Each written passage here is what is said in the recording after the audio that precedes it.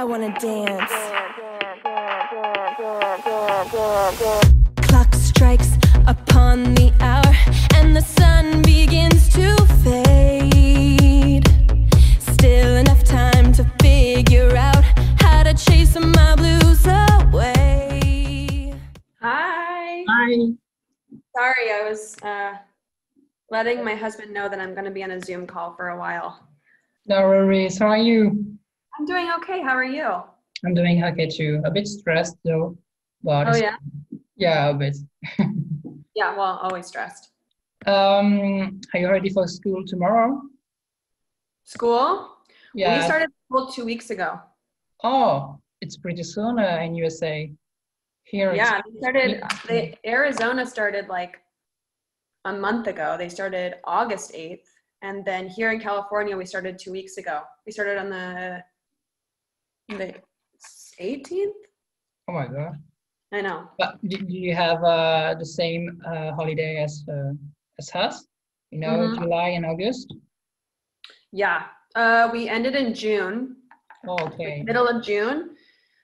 It felt like it just flew by. It felt like we didn't get enough vacation time. I was like, school is starting so quick. I'm not ready for that. Are you a bit stressed uh, with this whole COVID situation for your kids to go back to school? I was at first because they don't really go back to school. So we were like, okay, well, I'm going to be homeschooling my kids. And, you know, we experienced that towards the end of last semester. And it was just a mind fuck. It was a lot, you know, like getting them home. And then we're starting full time school Monday through Friday for a couple hours. And especially, I have a kindergartner. So getting them to sit on Zoom for five so- hours. So you received um, online lessons from their teachers? Yeah, and so they would set up. We have Google Classroom, but this year uh, we're in first grade. We have an awesome teacher. He is going to like a tutor, um, a tutor studio three days a week in the morning, and they like put him in their own rooms. They wear Yeah. masks, so he gets help a couple days a week. Um, so I'm, oh God, it just feels so good to have help with school. I have that. Um, and you're also going back to to school soon. Um, I think you you have a new project coming soon called e-dance convention. Uh, what is it exactly, and what's your role in it? Uh, so He Dance Convention is just a new, it's a new dance convention platform. Um, and I will be a faculty teacher. I'll be teaching jazz funk. Yeah. And I'm really excited. It's my first dance convention. Um, so we'll be traveling across the US and whatever it looks like for the state mandate, um, we'll try our best to, you know, teach the kids as best as we can. And whether it looks like uh, a big group setting or it's just in studios with smaller groups um, Yeah. adhering to the social guidelines we're just really excited to get to hang out with the kids and teach. It's such a new convention so we're like what can we do? What are we able to do? Um, but it's my first convention so i'm so excited. What was it your your idea, or uh, they contacted you to do this? i didn't understand you. What did you say? Uh, was it your idea this whole convention, or did they? Oh no no no. Yeah no I I was just uh, reached out to and you know asked if I wanted to join. So I'm not putting it on. It's just it's a group of us uh, doing it together.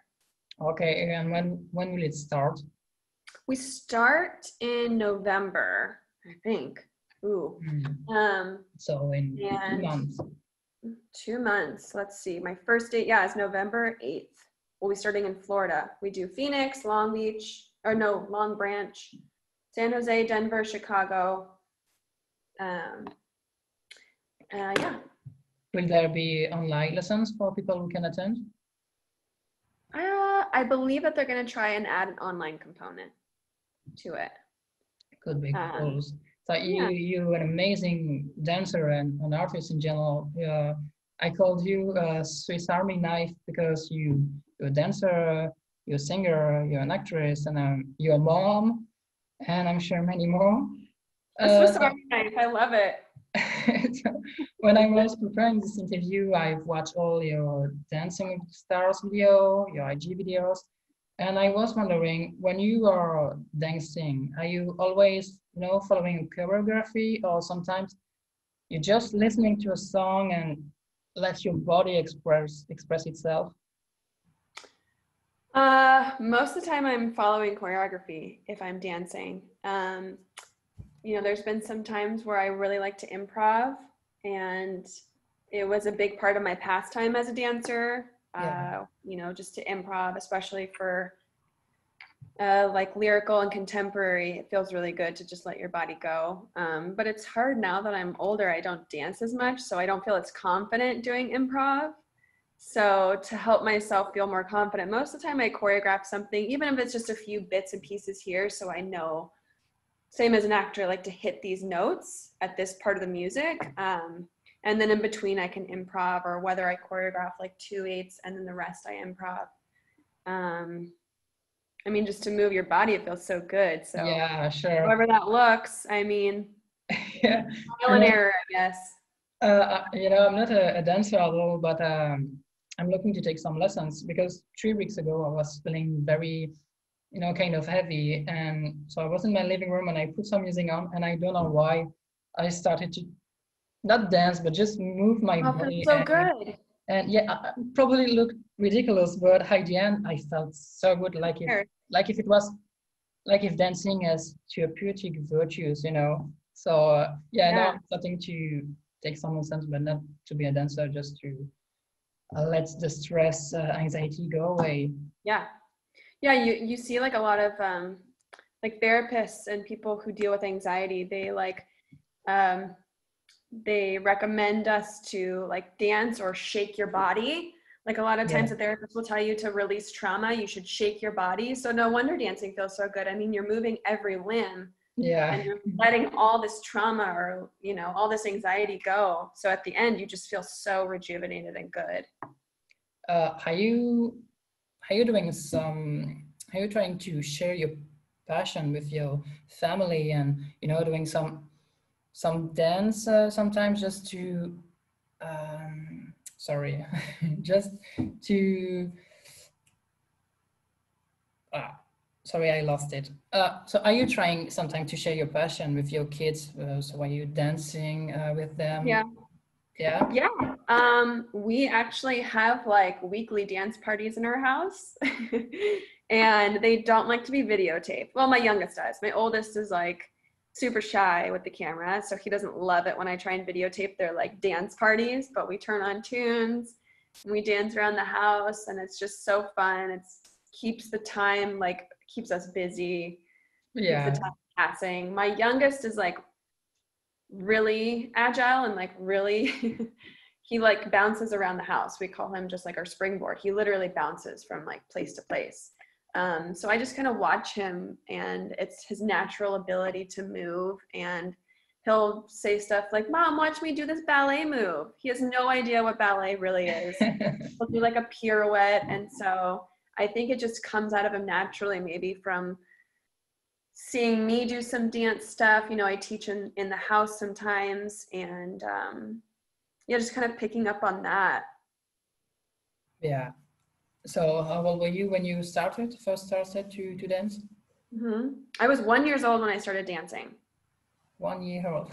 one years old yeah i started walking at seven months and my sisters were both dancing by then so my mom was like let's just throw her in dance if she really wants to be dancing let's do it so i was like the one year old in the toddler class That's oh, amazing. yeah so Yeah, my you, body definitely doesn't love that that I've been dancing for so long. It's like, okay, it's time to relax. Let's stop dancing. yeah, it, it- was your path since the very beginning.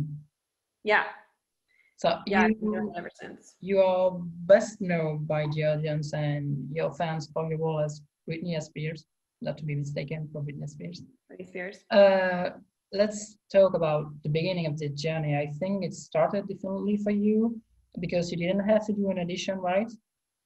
Yeah, right. I was assisting Zach Woodlee, the choreographer at the time. I was Yeah. helping out Cory um, with some of his like solo performances for the pilot.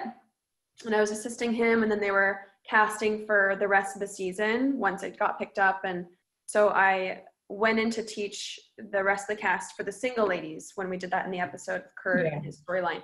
So I was teaching them single ladies and um, you know, they wanted to hire some dancers for the show because everybody was primarily a singer or an actor. And if it was a glee club, you know, there need to be some dancers sprinkled in.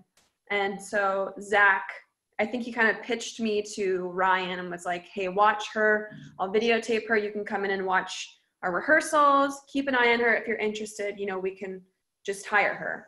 Um, and so that's exactly what happened. I taught the single ladies dance and Ryan came in to watch it. So stressful to be in a room with him, obviously. It was like, you know, gonna pee my pants. And um, he had had me, he had scheduled me to come in and read. He was get, I was gonna read Quinn's lines. Yeah. And I went into the office to read twice and got rescheduled twice um, after I had performed Single Ladies. And both times got canceled.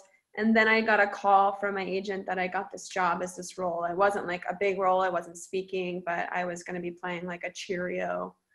So, yeah, that's kind of how it happened the whirlwind. Yeah, but but were you even thinking uh, about um, to start a career as an actress? Yeah, so about a year prior to that, I had decided because the the whole idea of being a dancer was never my thing. I was never planning to move to LA to be a dancer. Yeah. So in my mind, I had come to LA. I had started this career, but I was never convinced myself. I was just like, I don't know if this is it. Okay, well, I'm here in LA and I, I secretly have always wanted to become an actress. Why don't I just start doing that while I'm here too? And so I emailed my dance agents and I was like, hey, just a heads up, like, I'm not going to really be taking dance jobs. I really want to focus on taking class and becoming an actress. And which was crazy at the time because I was working. I was like consistently working as a dancer.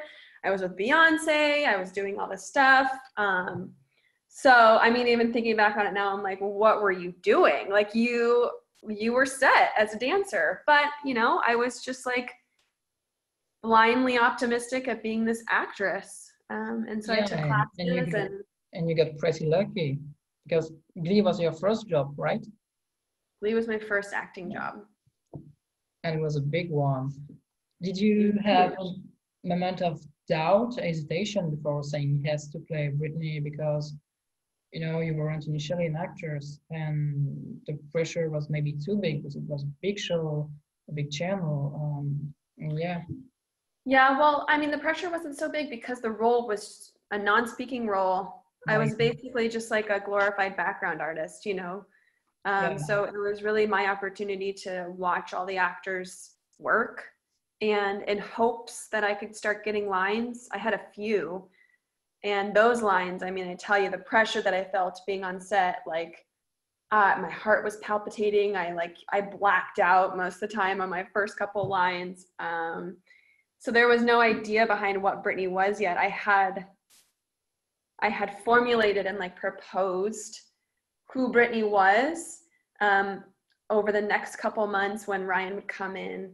Uh, I had like just come up with this idea that she was uh, not so smart person and that everything was just kind of blank and not there. um, it was it was really based on Karen. I think her name's Karen from Mean Girls. I was like, that character is iconic. I want to be that. She's hysterical. Um, so yeah, I guess to go back to your question, like I wasn't, I wasn't even thinking about this big, huge role. I mean, yeah, to me it was huge. I was like, oh my god, I just Yeah. got this awesome job. But I call it blind optimism because I'm like, fuck it, I'm gonna do this. Like, you know, I didn't think twice about everything like I do now. I was just like, we're doing this, we're gonna figure it out, and you know, everything kind of came later with how big the show really got. Okay, so you you said that at first she wasn't she wasn't that smart, and you know what what I love about your character is that she actually broke a whole cliche. You know, in Belgium, um, I don't know if it's the same in USA, but in Belgium, people often refer to someone as being blonde because she or he does something stupid, uh, which is ridiculous. Um, anyways, at first, uh, Brittany seems to follow this path, but then she appears to be a genius. Uh, so she literally broke broke this whole cliche.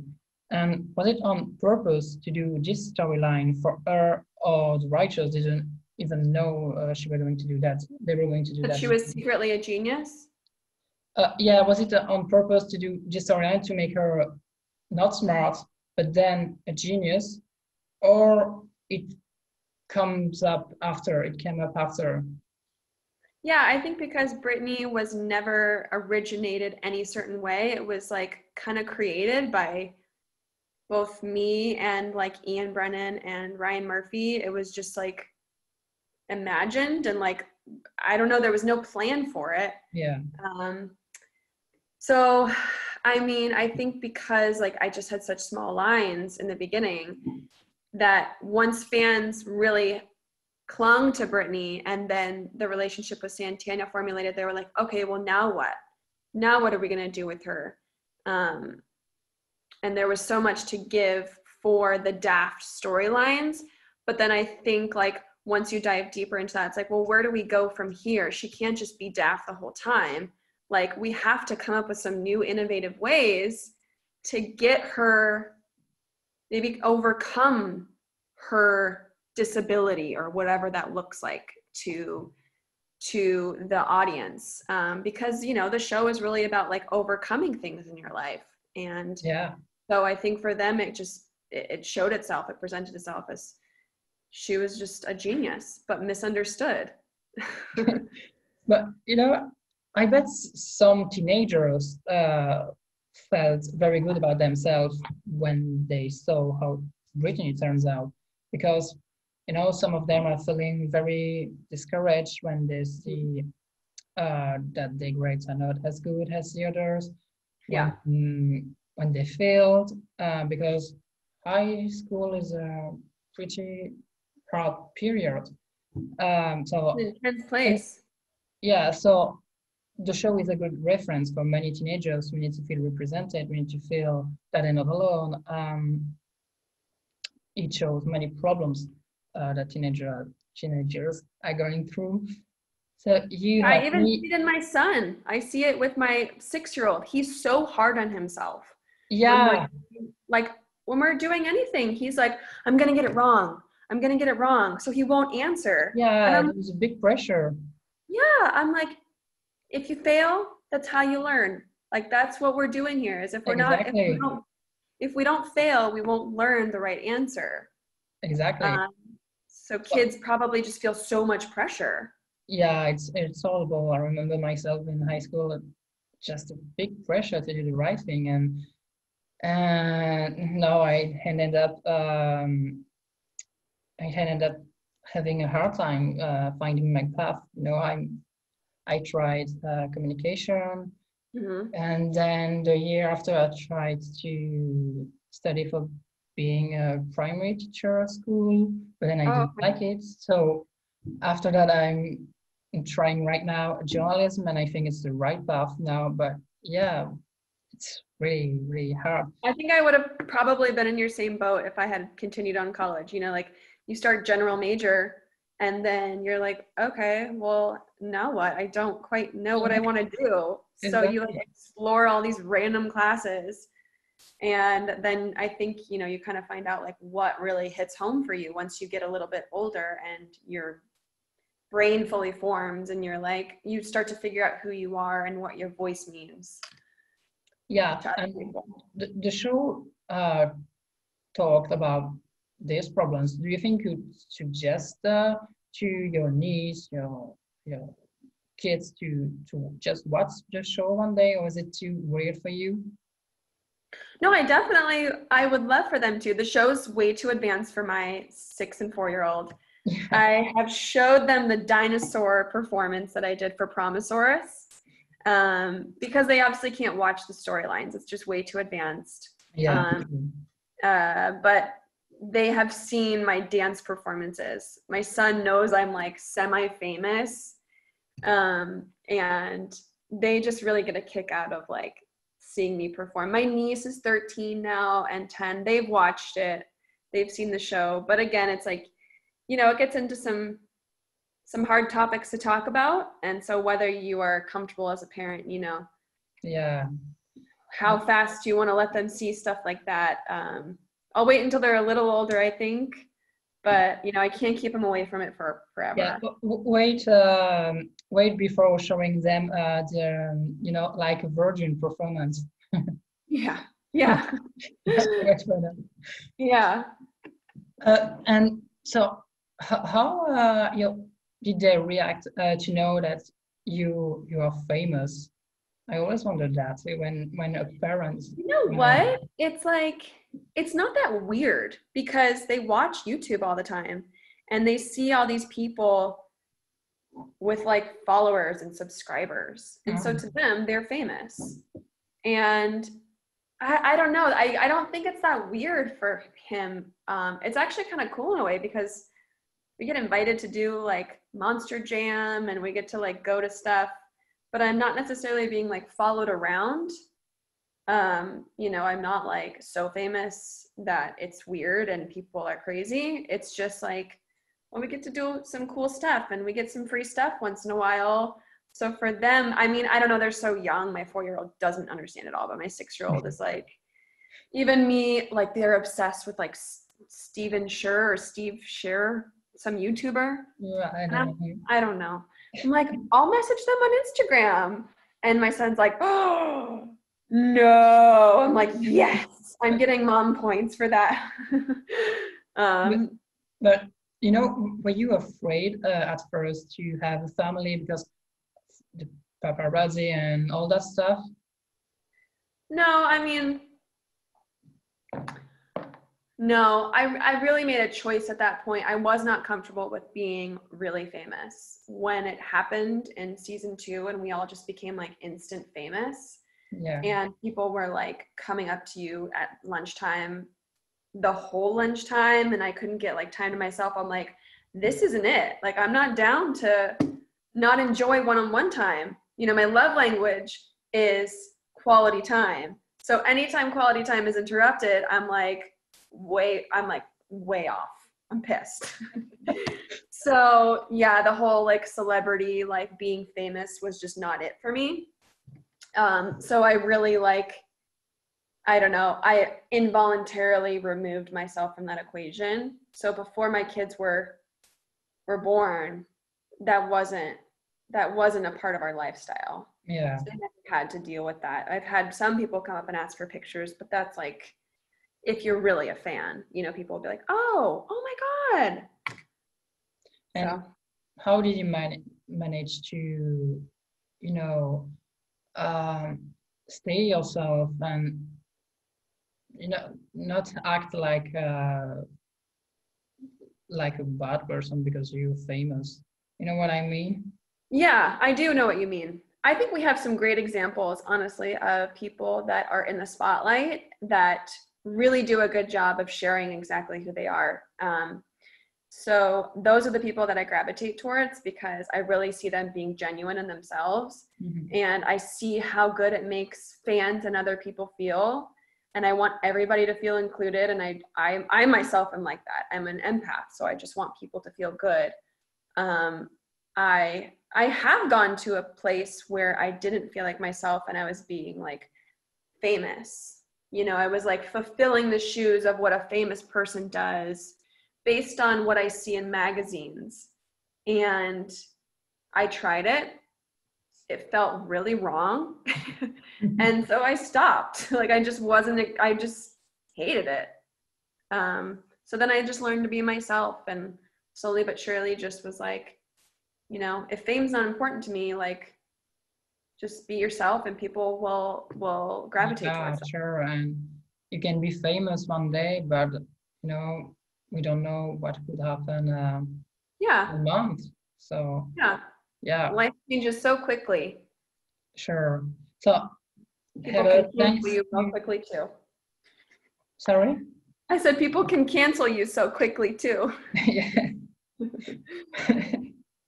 so uh, Heather, thanks to Brittany, you kind of an icon and a role model for role model for young LGBTQ plus and even older. For six years, you've shown us a beautiful relationship with uh, Naya as Santana. And today, after so many years, it still has a huge impact, and I really think it would last forever. So, how do you feel about that? How do you feel about the fact you're part of many lesbian, gays self-acceptance journey, uh, coming out journey? I think it's just so magical and special for what the show did for so many people to make them feel like they could really be themselves and just allow the rest of the world to come to them with their acceptance once they accepted themselves. Um, I really love seeing that because I grew up in the arts, and so I was surrounded by people who didn't feel comfortable being themselves. Yeah. And just watching people struggle with that and feeling like they have to hide who they are for so long, um, and you watching it, it's just you know, it's like it's just a beautiful equation just coming together.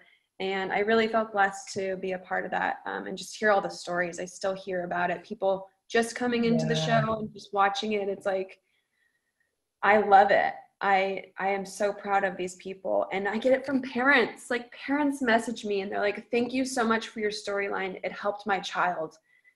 Tell me who they are. And i'm like oh Yeah, you know, you're receiving that every day, and I received some uh, message like that uh, because people knew that I was doing an interview with you, and and I'm thinking about a young lady who reached out to me, uh, and it really moved me because it put me back at her place uh, when I fell alone and didn't like myself for being gay, and she, it was important for her for me to ask you uh, if you have any advice of how to come out uh, to the people she loves and and just how to be brave.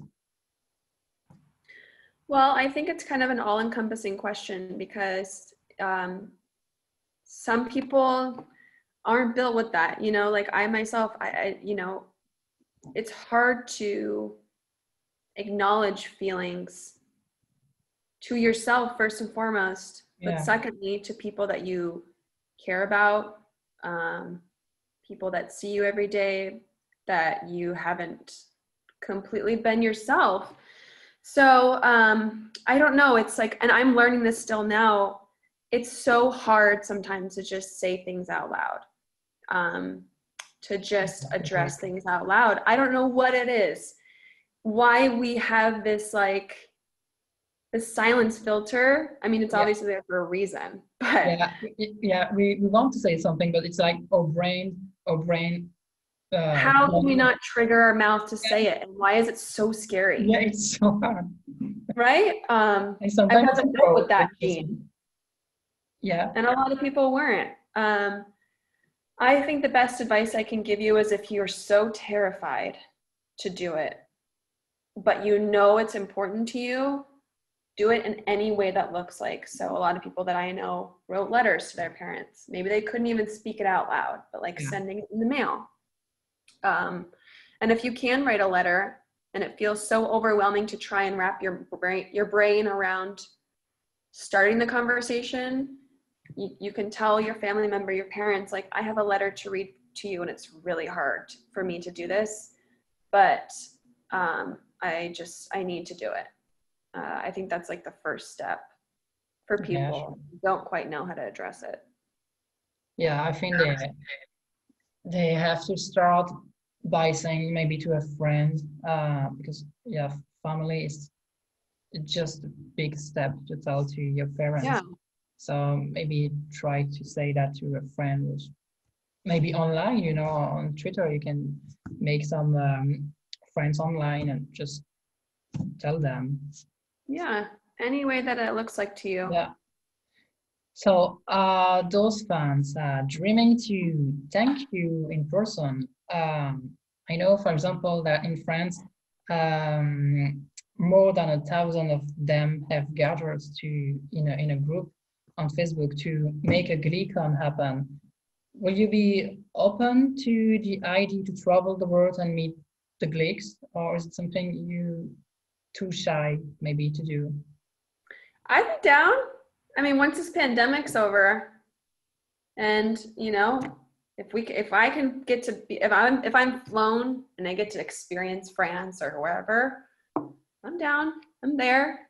Um, I am shy. I'm an introvert, so I always feel like it's a weird connection with fans because I'm like, I don't know you, but I also love you and I know you know me. So like we can hug and we can be friends. Um, but I always feel like people expect more, and I'm like, ah, what do I say? What do I do? You know, you never knew if you're doing it right. Um, Yeah. so it's always fun. But whenever you come in France, in Belgium, maybe in London, uh, I'll be there and it's going to be the best party ever. And uh, yeah, I would like to thank you so much for this lovely chat. Um, feeling very proud now, now and blessed for this moment. And it's all because of you and your trust in me. So yeah, thank you Of so course.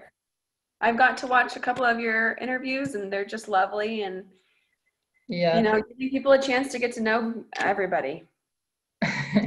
so uh, I'm going to send you the link once it's posted, but just so you know, I won't cut anything because I think it's more real like like that, and I like it that way. It's not perfect, but who cares?